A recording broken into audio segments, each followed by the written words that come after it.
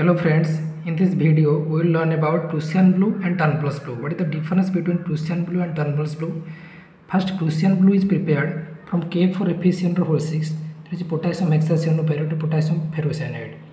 If we replace 3 potassium ion by 1 Fe3 plus ion, in that complex we get KFe third I, Fe2ICN whole 6 outside the coordination sphere iron is in plus 3 oxidation state and inside the coordination sphere iron is in plus 2 oxidation state. It has blue color.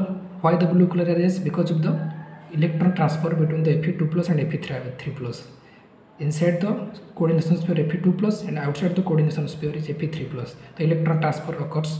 That's why the blue color arises. In case of Turnbull's blue which is prepared from k3 FeCN whole 6 potassium hexacyanoferrate potassium ferricyanide.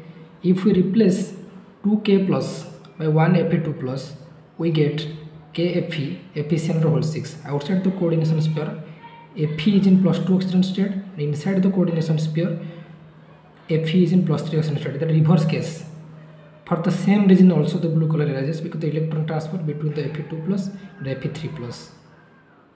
I hope this video might be helpful